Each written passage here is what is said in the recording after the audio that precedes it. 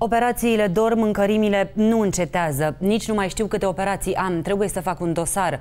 Sunt mărturiile șocante ale unei fete de doar 27 de ani. Adina Apostol s-a întâlnit cu moartea în octombrie anul trecut, dar a refuzat să o urmeze. Iar moartea nu a iertat-o și a rănit-o. Adina este în Belgia alături de alți răniți din clubul colectiv. Poveștile lor le aflați în această săptămână la știrile Focus. Nu e o zi care să nu treacă, să nu mă gândesc. Dar luptă luptă să înfrunte amintirea infernului din noaptea aceea blestemată de 30 octombrie 2015. Cu Adina ne-am întâlnit seara, după o zi lungă în care a stat numai în preajma medicilor, pentru că de aproape un an viața Dinei se învârte în jurul unei rutine dureroase. De două ori pe zi face kinetoterapie și tot de cel puțin două ori pe săptămână, medicii își mai aruncă o privire la cum se vindecă pielea ei. Flăcările din colectiv i-au cuprins 50% din suprafața corpului, în special mâinile, capul și spatele. Nu mai știe de câte ori a fost operată, iar drumul cu destinația refacere este lung. Acum nu fac decât să stau în casă să mă duc la spital. Vorbeam cu anestezistul de aici acum câteva zile și îmi spunea că el crede că am peste 15. Nu mai țin minte, trebuie să fac cumva o... un dosărel să văd câte sunt toate. Va dura undeva la 2 ani de zile până mă voi recupera complet. Anul trecut, pe vremea asta, Adina probabil doar ce ajunsese acasă de la serviciu sau era în oraș cu prietenii. Lucra la o clinică privată. Nu obișnuia să meargă în locul aglomerate, dar în seara aceea de 30 octombrie 2015, aglomerația nu a mai deranjat-o. Conta doar că era acolo, în preajma băieților de la Goodbye to Gravity. Mi-a plăcut foarte mult, chiar vreau să văd uh, lansarea noului album. Și chiar a fost prima seară um, în care nu m-a deranjat faptul că stăteam într-un loc atât de prost, să zic, încât toată lumea trecea pe lângă mine și mă loveau și că era aglomerat și de obicei nu stau în locurile astea așa aglomerate, mă duc cât mai departe, cât mai în fundul clubului, ca să zic așa, să nu mă deranjeze nimeni. Adina a ajuns în colectiv cu aproximativ 20 de minute înaintea focului de artificii. Când a izbucnit incendiul, era printre cei care au rămas blocați înăuntru. După câteva minute în care și-a pierdut cunoștința, a reușit să strige după ajutor și să întindă o mână afară. Asta a făcut diferența dintre viață și moarte. Mâna ei care s-a strecurat printre alte zeci și care s-a agățat de lumea aceasta. A fost scoasă de acolo în stare gravă. În Belgia a ajuns în comă indusă și s-a trezit abia la sfârșitul lunii noiembrie. Am avut o lungă perioadă în care m-a durut absolut tot. După aceea au început mâncărimile, care cred că cu toții aproape le-am avut. Și n-au încetat nici acum. Grija pentru bere o mai face din când în când să uite de mâncărimi. L-a găsit pe când era cât palma și îl iubește atât de mult încât l-a luat în Belgia cu ea.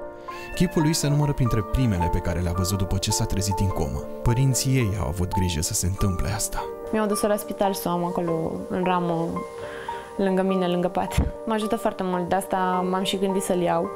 Mi-era și foarte dor de el. Ne, ne amuză, ne umple timpul, ne jucăm cu el. E mai bine cu decât fără. Cu mama și bere, Adina e tot timpul, de un an încoace. Mama e mai puternică decât oricine. super, super woman. Um, eu nu știu dacă aș fi rezistat, mereu m-am gândit la lucrul ăsta. Dacă aș fi fost mamă și să mi s-ar fi întâmplat treaba asta, nu știu cum aș fi, cred că aș fi cedat cumva psihic.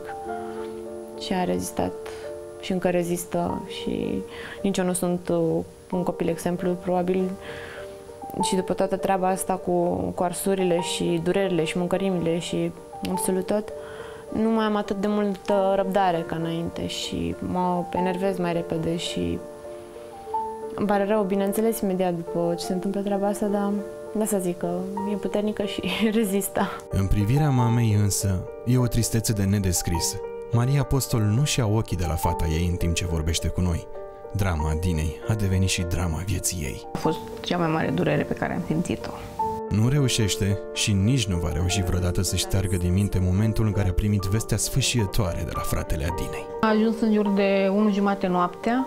Eu cu tata dormeam, eu cu tata Adinei, iar uh, a bătut la ușă, telefoanele le-am lăsat ca niciodată în sfragerie, noi dormeam în dormitor și în seara aia n-am luat niciun telefon la noi. Nu știu de ce, dar nu le-am luat.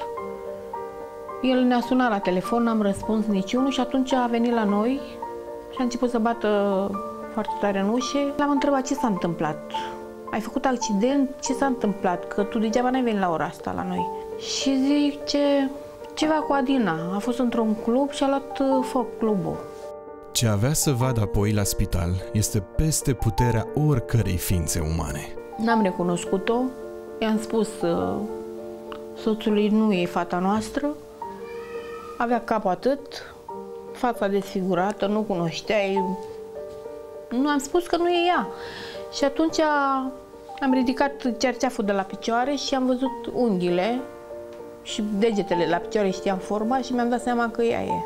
Maria Apostol crede că fica sa nu ar fi supraviețuit dacă ar fi rămas în România. A ajuns la Bruxelles, nimicită de bacterii ucigașe. Ea a avut nouă bacterii și cele mai periculoase care au fost uh, Acinetobacter, uh, Klebsiella pseudonomă ruginoasă, cele mai periculoase le-a avut. Uh, cu ele a venit din țară, cu astea trei, și pentru a scăpa de ele, spuneau medicii de aici că făceau cocktail de, de antibiotic ca să scape și plus băile zilnice de câte două ore pe zi. Mi-au spus că um, am avut o bacterie care nu ceda la nimic, la absolut nimic. În urma incendiului din colectiv, Adina are un alt chip, trup și suflet. Și-a pierdut prieteni și-a dat uitării planuri mărețe. Nu caută vinovați. Crede însă că, dacă erau mai multe uși, nu mureau atâția oameni, iar numărul răniților era mult mai mic. Noi, ca să putem trece peste ce s-a întâmplat, trebuie să înfruntăm lucrul ăsta. Și prima oară când am fost în țară, pe 20 februarie, am putut să plec câteva zile, m-am dus direct la colectiv. Nu se vindecă nimic dacă evităm lucrurile. Doar trecem așa. Dar de fiecare dată o să doară.